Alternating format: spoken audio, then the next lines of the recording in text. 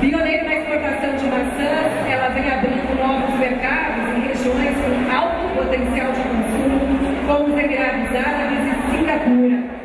Só em 2023, suas exportações chegaram a 14 países, incluindo alguns dos mais exigentes mercados da Europa. E é por isso que este destaque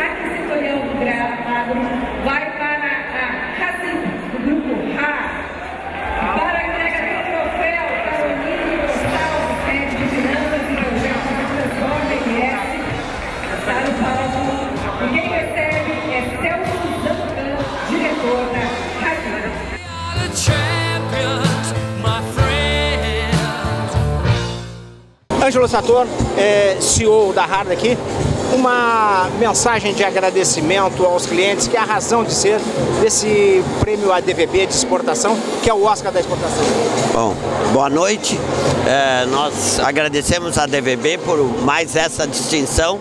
É o sexto ano seguido que a nossa companhia, a RAR, representada nessa, nesse, nessa premiação pela unidade de negócio de fruticultura, que é a Razip, a terceira maior produtora de maçãs do Brasil, e esse ano a maior exportadora em 2004 de maçãs para o exterior. É, para nós é uma gratidão estar sempre aqui presente, fazer parte desta festa e receber a, a homenagem né, pelo resultado que nós obtivemos. Obrigado. Obrigado.